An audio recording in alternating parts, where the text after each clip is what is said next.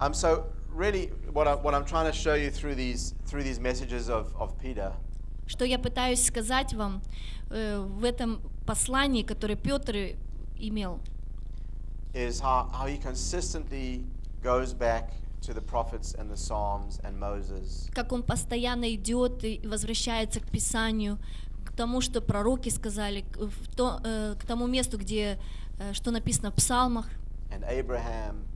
и к Аврааму ведет. And uh, I, I don't know if you've encountered this when you speaking to Christians, Я не знаю, э, что использовали ли вы, когда разговариваете с христианами, but they say, "Wh- wh- why, why so much emphasis on sharing the gospel with Jewish people? Can't you just share the gospel like you do with anyone else? э, христиане могут спросить, почему столько ударения э, на то, что вот вы делаете, как вы преподаете еврею, нужно делать на Писании, а что нельзя проповедовать так, как вы делаете просто с людьми, которые не, не евреи. And what, what, what the average Christian doesn't understand is that when you just preach the gospel, uh, most Jewish people think it doesn't apply to them. И большинство христиан, они не понимают, что когда ты проповедуешь Евангелие только на основании Нового Завета, что э, евреи вообще не понимают, о чем речь идет. And so Peter is, is such a good example of putting the gospel in the context that people can relate to. Но Петр на- настолько искусным образом мог выложить проповедь э, таким образом, что это было доступно и понятно э, еврейскому народу. uh, presenting the gospel on their terms, Он представил Евангелие на их условия, in their language, in a way that they can understand and на их языке, на их культуре, чтобы они могли понять доступно. And, and this is very important because this is part of our mission. И это очень важно, потому что это наша миссия. Is, is I I believe every one of us is called not only to reach the Jews, but to equip others to reach the Jews. Я верю, что каждый из нас призван и проповедовать, и снаряжать евреев. That's why we do need to partner with the churches and, Поэтому and, нам нужно быть партнерами с церковью. And to some degree, I believe everyone can should be doing what, what I'm doing here. И- If, you're called to Jewish ministry. И если вы призваны к еврейскому служению, я верю, что вы должны каждый э, делать то, что я вот делаю сейчас здесь. Because the way that you, each one of us is only one person, we can only do so much. Потому что каждый из нас индивидуально можем только э, немного сделать, достичь в жизни что-то. But the way that you multiply your ministry is by training others to do what you already know to do. Но как вы умножаете служение свое, э, это или то служение, в котором вы находитесь, это когда вы учите. And generally speaking, we do have to share the gospel in, in a different way with Jewish people. Конечно, в об- обобщенно говоря, э, мы должны делиться с Евангелием евреям. Yes, it's the same gospel, it's the same message, Да, то же самое Евангелие, да, то же самое послание.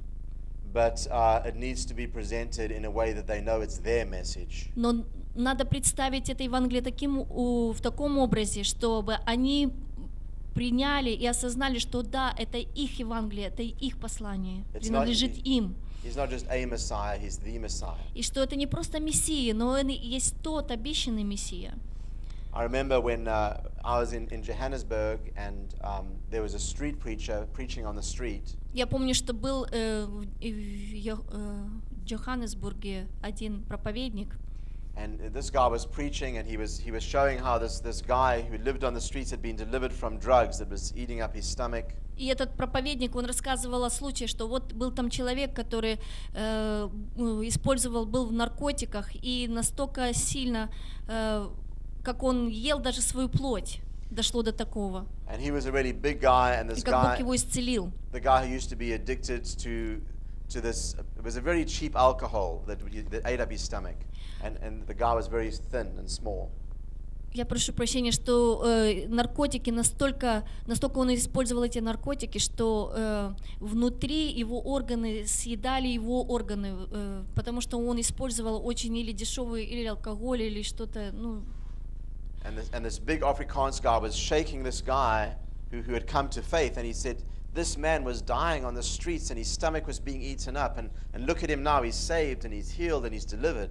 И этот африканец, проповедник, взял этого человека, э, который был наркоманом, говорит, посмотрите, он начал его трясти, говорит, посмотрите на этого человека, вот он умирал, вот он был весь в наркотиках, вот и его желудок э, практически был съеден этими наркотиками и всем тем, чем, э, что он пил и использовал, а теперь Бог его освободил, Бог его исцелил.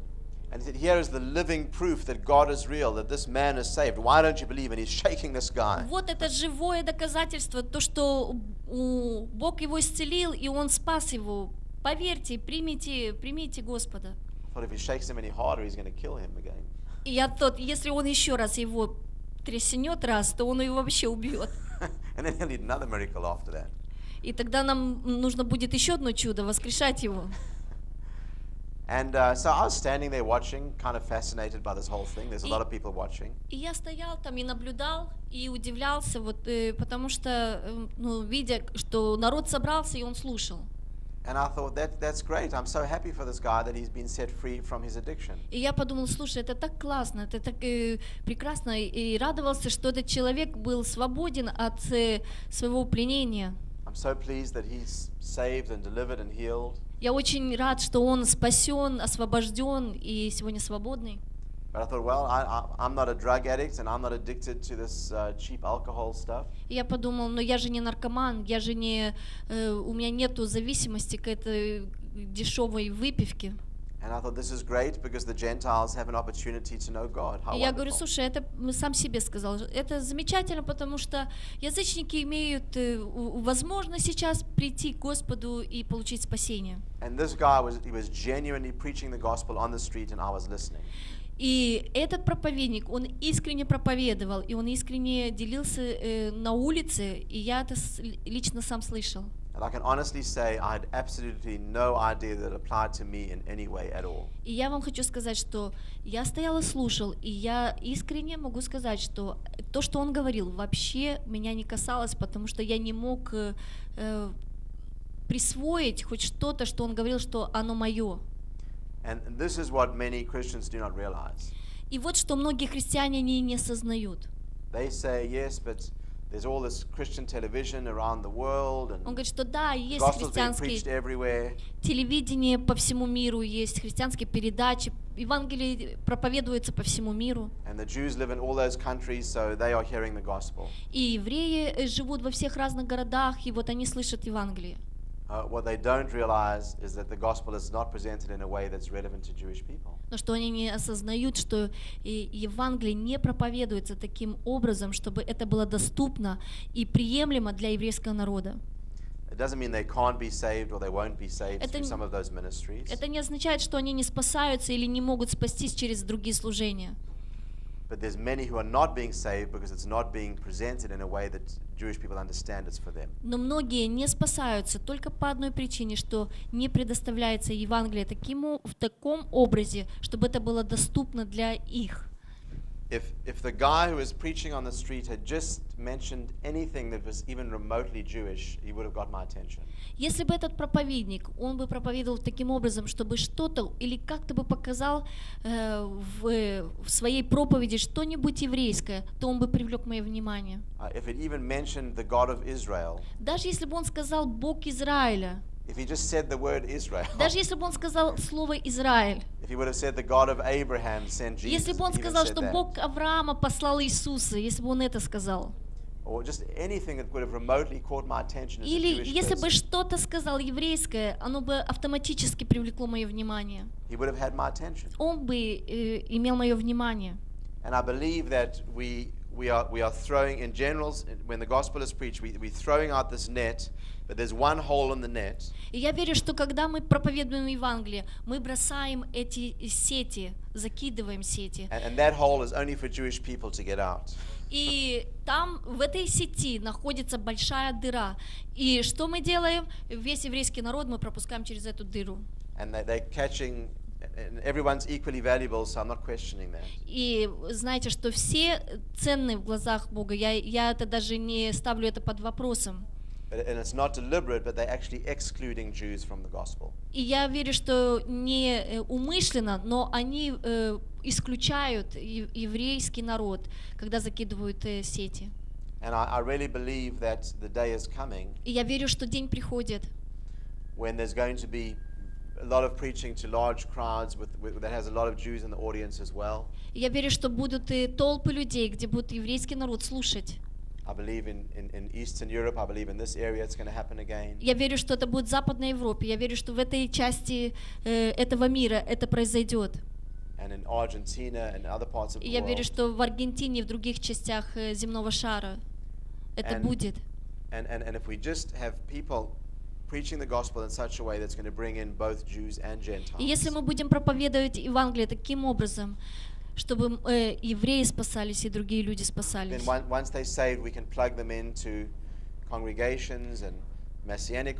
когда они, когда они спасутся, то они будут находиться в мессианских общинах, в других общинах, церквях. and let them get discipled. И пусть и позволить, чтобы они были учениками. Нам нужно представить Евангелие таким образом, чтобы э, куль- в культуре она была приемлема.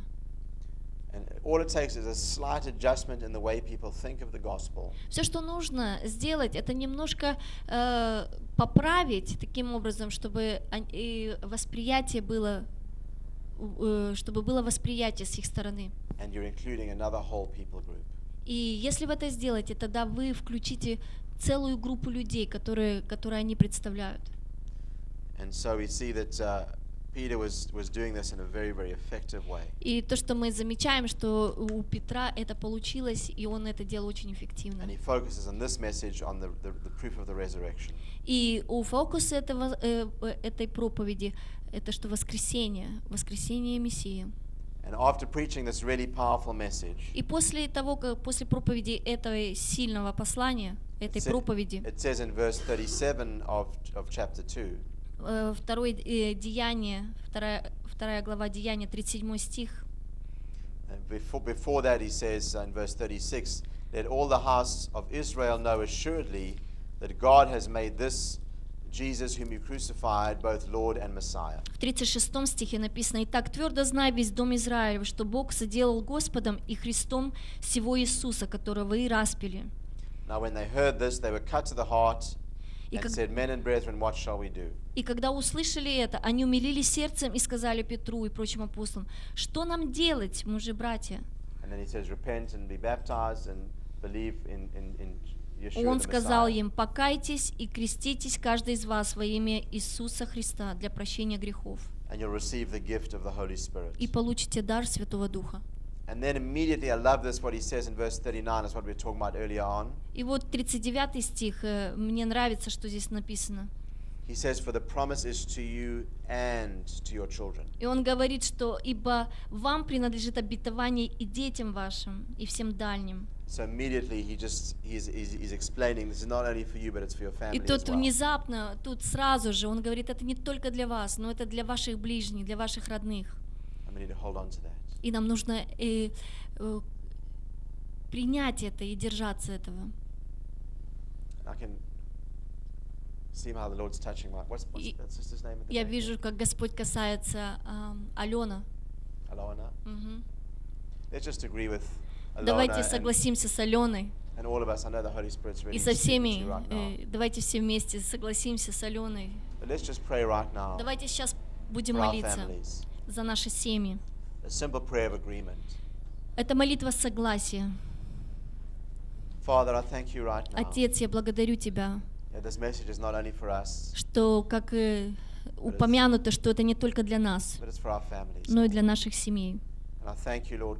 Я благодарю Тебя, Господь Бог, что наши семьи будут спасены. Мы отдаем Тебе наших отцов, матерей, наших детей, наших кузенов, наших теть, дядь. We commit them to your hands. И мы их отдаем в руки Твои. Lord, you promised that you would save us and our household. Господь, Ты обещал, что Ты спасешь наш и весь дом наш. We lift them up to you right now. И мы отдаем это к Тебе. pray that you would save them, Lord, И мы молимся, чтобы Ты их спас. and use us to be witness to them, Используй нас, чтобы мы были свидетелями. and send others to witness to them. И чтобы мы посылали других, чтобы они были свидетели. Name. Во имя Иисуса. Ишуа. Аминь.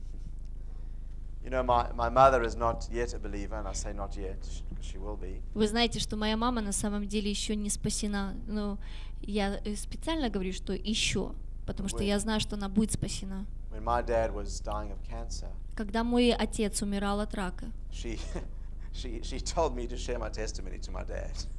прежде чем он умер, она сказала, поделись э, э, свидетельством с отцом.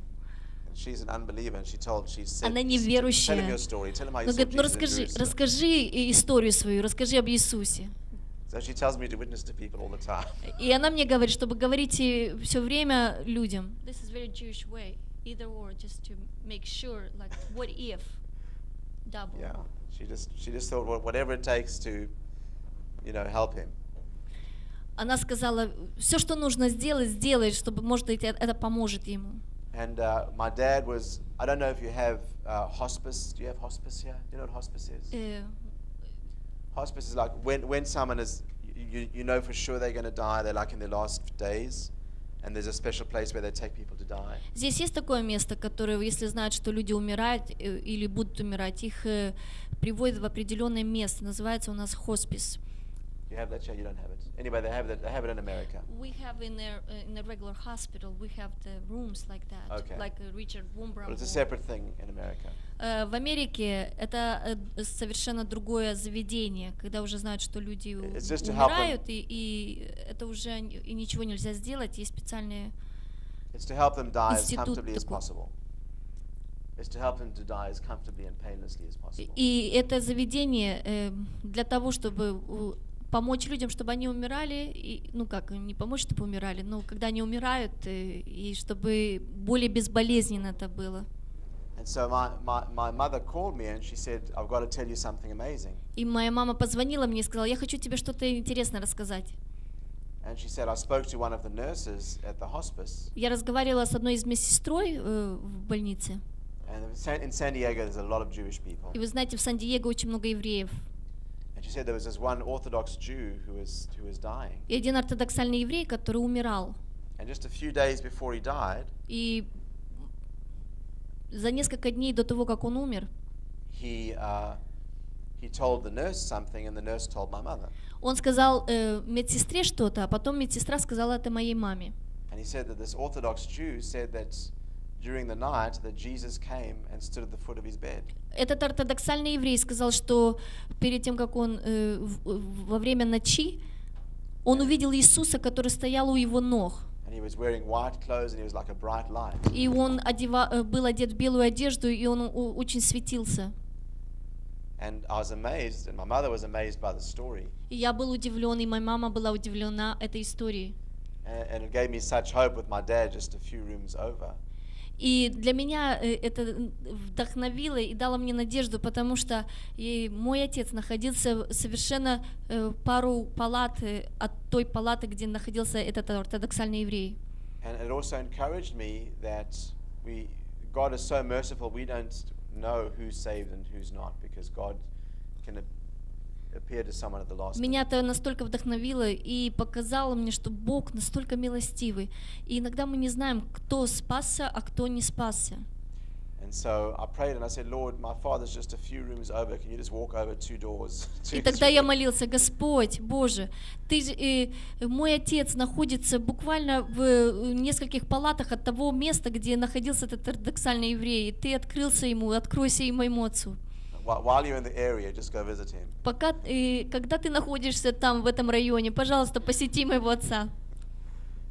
And uh, w- what we have to realize, and I, and I really think it helps when we witness and we realize this, И мы должны осознать, что в то время, когда мы свидетельствуем, we sometimes think that, that, that we kind of struggling along and we really need God's help. Что мы думаем, что мы э, страдаем или мы проходим через трудные времена, и нам нужна э, э, ну, помощь. But w- were you finished? Mhm. You sound like you stopped halfway through the sentence. No. okay. But God wants our family to be saved and our people to be saved even more than we do. Но Бог хочет, чтобы э, нашей семьи, э, э, Бог сам заинтересован и имеет желание, чтобы наши семьи были спасены больше, чем даже то, что мы сами хотим этого. Он хочет достичь э, нашей семьи больше, даже э, больше, чем мы этого хотим. И если мы проповедуем Евангелие нашим людям, we have to go in with the absolute assurance that we have God's full support 100%, that He is И- когда мы это делаем, когда мы идем и делимся Евангелием, мы должны быть уверены сто процентов, что Бог за нашей, э, с нами, и Он поддерживает все, что мы делаем. The scripture will often say that, and, and, you know, when they preached the gospel and God confirmed His word. Потому что Писание, мы видим в Писании, что когда было проповедано Евангелие, что это было подтверждено Словом. Through signs, through wonders, through Через знамения, через исцеление, через чудеса. And so when we take that step of faith, God is going to back us up. И когда мы берем этот шаг веры, Бог всегда нас поддержит. And so we need to take that step of faith. И нам необходимо взять и идти, взять этот шаг веры. So Peter says that this promises to you and to your children. Потому что Петр сказал, что эти обещания принадлежат вам и вашим детям, and to all who are afar off, as many as the Lord our God will call. и всем дальним, кого бы не призвал Господь Бог наш. And so there was a many, many Jews got saved that И day. многие-многие евреи покаялись в тот день. Okay, uh, let's go to. It's amazing how many sermons there are that's that Peter preached. Удивительно, That are но so очень powerful. много э, проповедей, которые мы можем рассматривать. Let's go to Acts chapter four, Давайте откроем сейчас Деяние, четвертую главу. uh, and uh, another message of Peter's. Еще одно послание Петра. Помните, что Петр был э, апостолом для евреев. which is why you find so many messages by him to the Jews. Поэтому вы находите его проповеди, адресованные евреям. So he's really a great example of И он великолепный пример э, рассматривать его проповеди, как э, проповедовать евреям. So Acts chapter 4 and starting in verse 7. Э, Четвертое деяние, начиная с седьмого стиха. Um, let me just pa- paint a bit of a context here. Немножко хочу предисловие сказать.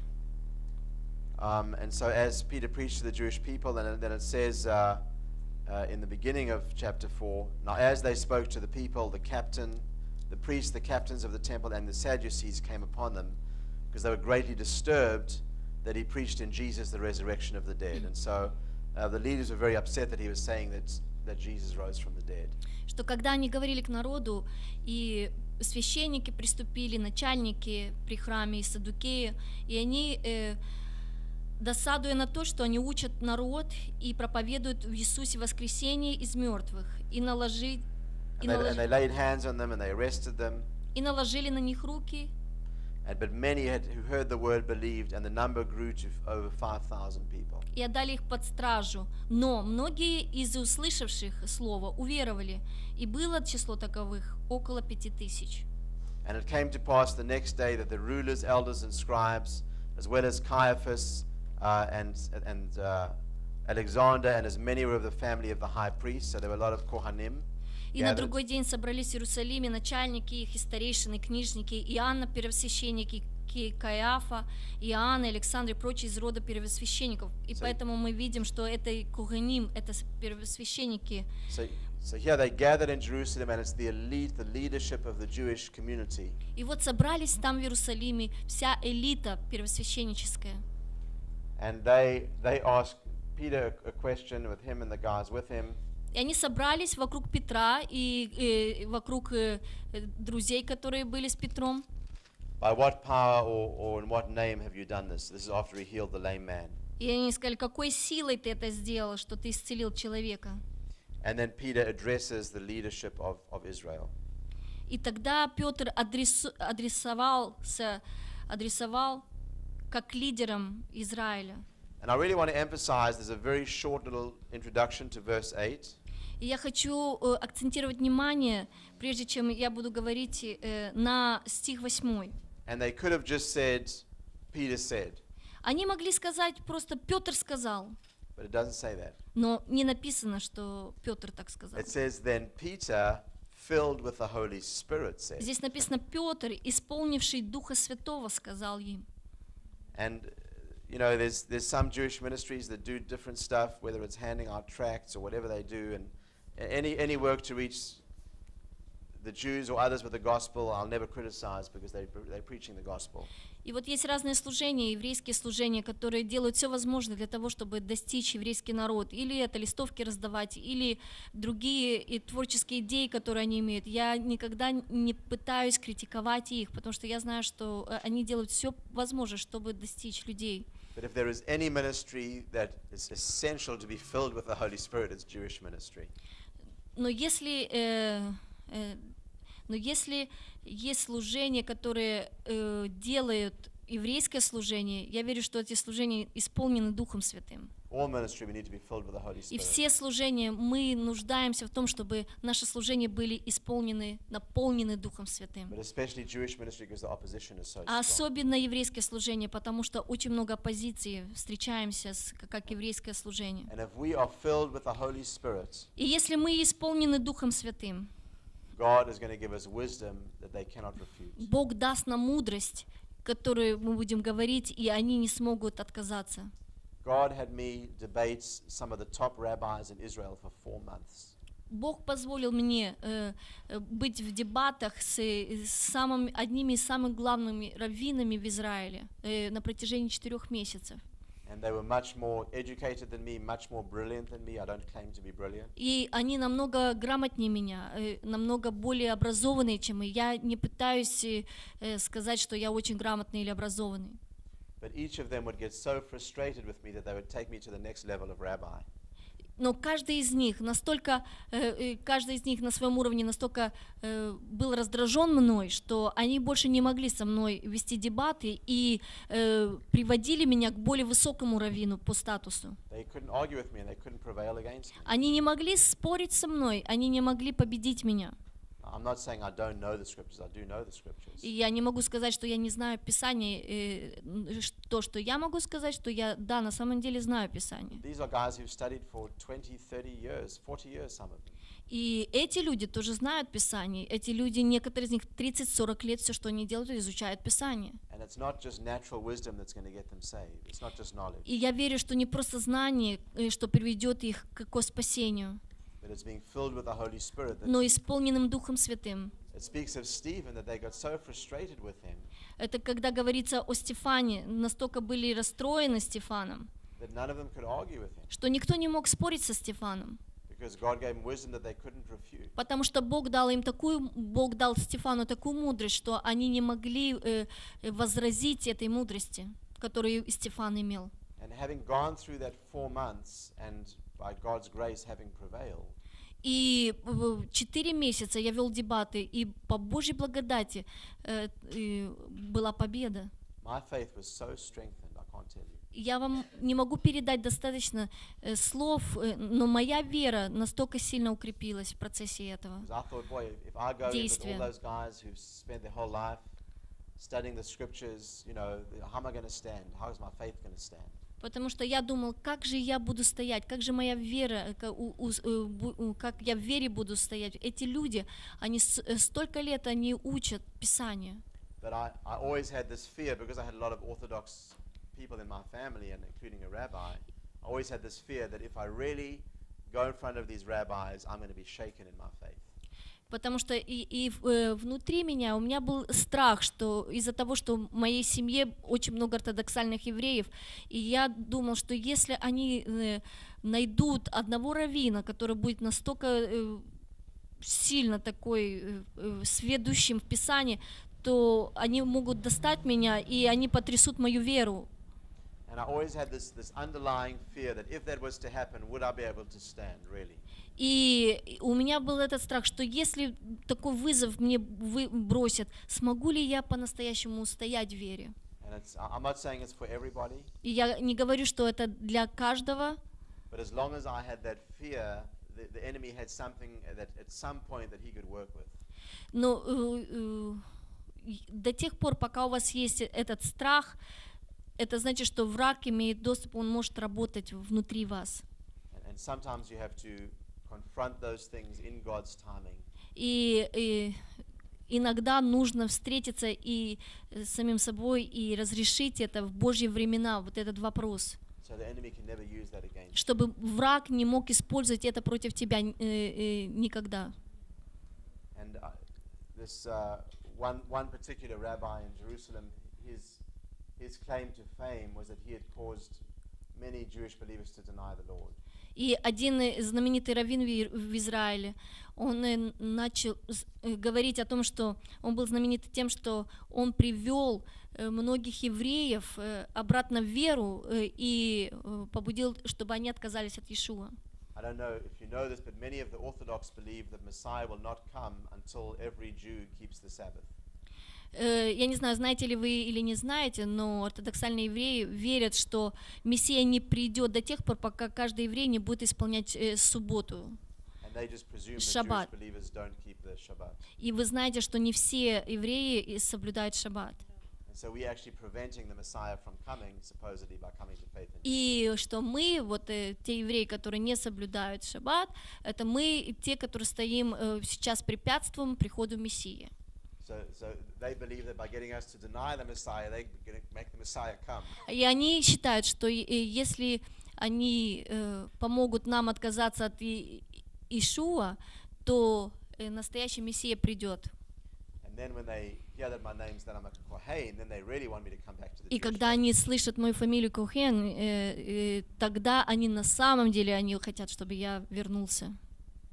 And so after going through many different levels of rabbis and different yeshivas, И тогда мы идем, э, посылали... sorry, простите. Yeah, yeah. After going, Trying. through, after going through many different levels of rabbis, different uh, levels, И после того, как э, несколько на протяжении какого-то времени, э, проходя многие уровни у раввинов и шив скул в, в Израиле, и они меня привели к самому главному раввину, который занимается э, распрограммированием, раскодировкой, да. И вот, э, вот такой э, класс, мастер-класс по э, э, раскодировке. So I finally ended up with him, and uh, I was I was actually very naughty because I uh, И вы знаете, я был немножко такой э, вызывающий себя вел, потому что я пытался э, играть с ним в игру, но он это не замечал. Я говорю, Равин, я слышал все, что э, ты услышал, что ты сказал, и я озабочен всем, э, всеми этими словами, которые ты говорил. And uh, he had caused many Jews to deny the Lord, as I said. И как я сказал, что он э, привел многих евреев обратно от веры в Иешуа. И когда я это сказал, что я озабочен э, э, всеми словами, которые ты сказал, что он улыбнулся и такой вот, э, изменился в лице. Him. Он ожидал, что я скажу, что я согласен с тобой. И я говорю, что я хочу, чтобы вы знали,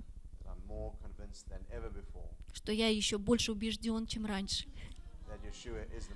что Иешуа есть Мессия. Он, он так разозлился. Он был большой человек. Он был больше меня, и он здоровее меня. Он встал, и я также встал.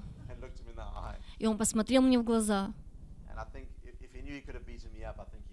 Я думаю, что если бы он, э, ему разрешили побить меня, он бы меня побил. Но я не боялся его. Но он был такой злобный.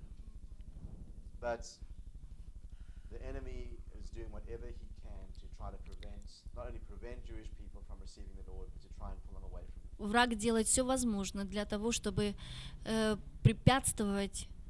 We are in a very тому, что Господь делает. И мы на самом деле находимся в реальной духовной битве.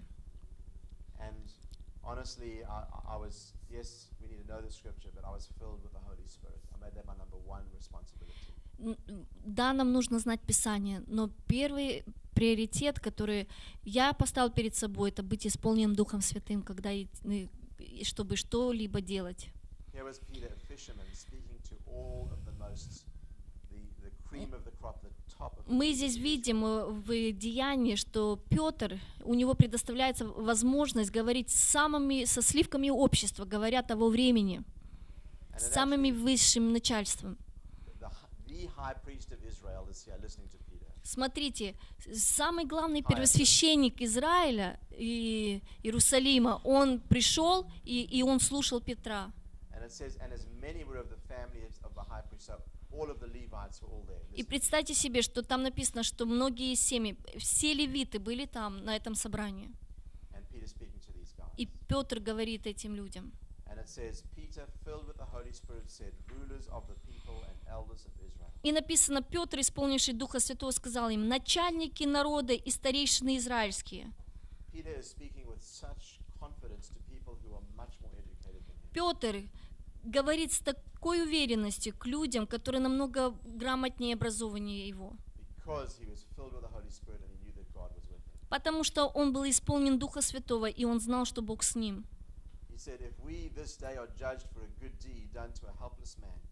И он говорит, что если от нас сегодня требуют ответа в благодеянии человеку немощному, как он был исцелен, let it be known to you all, то да будет известно всем вам и всему народу израильскому, by the name of Yeshua the Messiah, что именем Ишуа Мессии, of Nazareth, whom you crucified, who God has raised from the dead, by him this man stands here before you whole.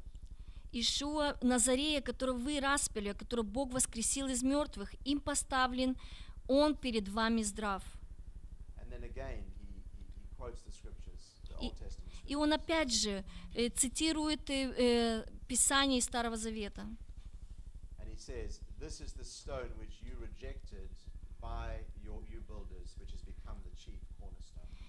Он говорит, он есть камень, пренебреженный вами, зиждущими, но сделавшийся главой угла, и нет ни в ком ином спасения. And I believe that is Psalm 118, И я верю, что Псалом 118, 117, verse 22. 22 стих. Yeah, Psalm 118, verse 22. It says, The stone which the builders rejected has become the chief cornerstone. что камень пренебреженный, который отвергли строители, стал главным. Это. Бог делает, и оно удивительно в наших глазах. И это день, который сотворил Господь, и будем радоваться и веселиться. And what, what's so incredible about this is that he actually said to him, This is the stone which was rejected by you builders. И что удивительно, он тут адресует э, и говорит, что камень, пренебреженный вами, он обращается к лидерам и говорит вами, но сделался главой угла, главным камнем. И опять-таки он э, делает таким образом, что побуждает их быть ответственными, подотчетными за то, что он слышал. He's saying, "You- you, you are the builders, you Он-. Он говорит, что вы лидеры, вы, вы начальники, вы должны быть теми людьми, которые учить детей.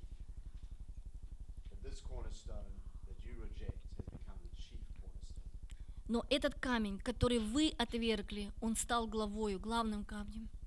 You probably know that the, the temple could not be rebuilt without the cornerstone. Вы, наверное, знаете, что храм не может быть построен без э, э, краеугольного камня.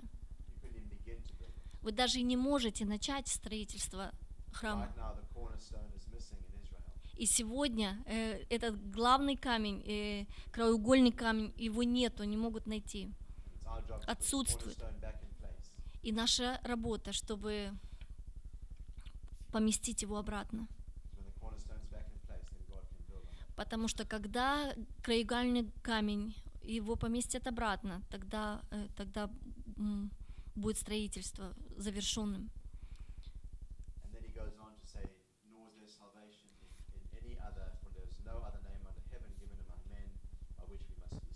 Ибо нет другого имени под небом, данного человеком, которое надлежало бы нам спастись. And very often that scripture is quoted, but it's not quoted in the Jewish context in which it was given. И очень часто Писание цитируется э, в том контексте, где это понятно для еврейского народа. И, конечно, это место Писания, оно относится ко всем.